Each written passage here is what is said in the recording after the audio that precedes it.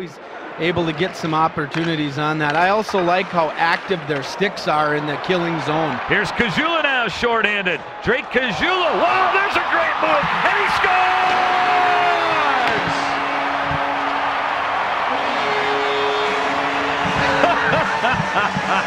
He's done it again, friends. Highlight reel goal by Drake Caggiula. He flashes a big smile, and why not? There you go. There's the shorthanded goal like we talk about. Look, they're always looking to make plays. I tell you, this guy does it all the time. Look at he dipsy doodles. Uh, he goes right by Champagne, and, and he does it again. Highlight reel goal, and who else but Drake Caggiula, Dan? Oh my goodness, did he absolutely fool Cody Champagne. Slides the puck behind the Huntsville defenseman and